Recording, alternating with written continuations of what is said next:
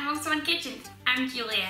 So today I'm going to show you how to make a delicious pulled pork and cheese panini. So let's get started. So what I'm going to use for these paninis here is some ciabatta bread. I have just bought some ciabatta bread because I like the size of it and the taste of it.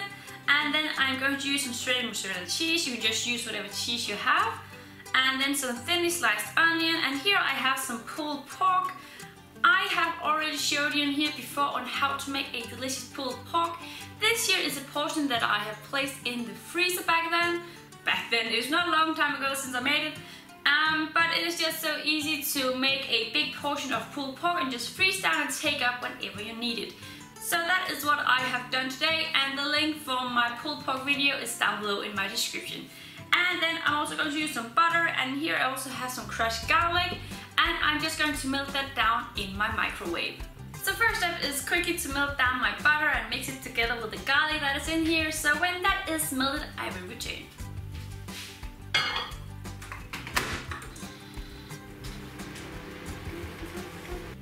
So my butter here is now melted and I'm just going to take a brush and just brush some of this garlic butter on top of my bread here. This is just going to give an amazing flavor. It's just super super yummy.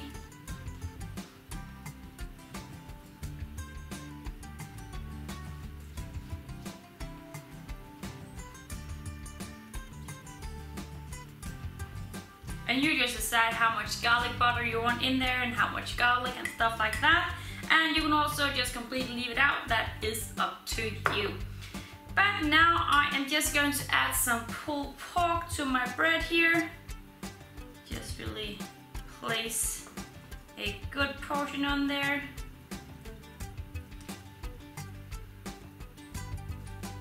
I just love homemade pulled pork.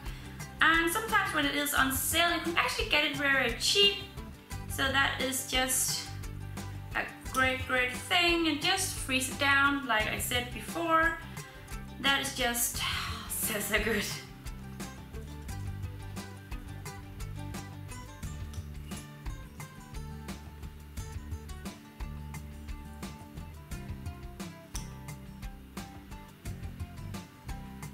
I think that is it here.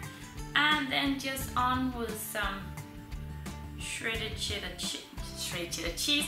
And then some on with some shredded mozzarella cheese just on top here just push it down just a little bit like that and then on with some thinly sliced onion you pretty much just add in whatever you like into this panini here it is just an easy lunch or dinner. And now I'm just going to place this here on top. And then all I have to do now is to turn on for my panini grill and after that I will return. So my machine is now ready and I'm just going to spray it with my baking spray first and then I'm going to add in my bread and just cook it in there until it is nice and crispy and done and then it is ready to be served.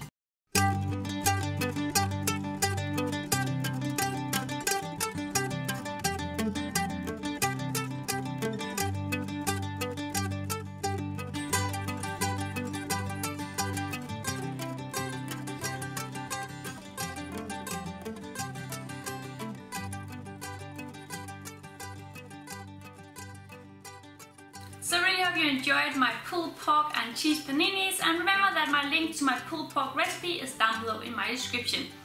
And if you want to give these a go, just go down in my description and you can find all the ingredients down there.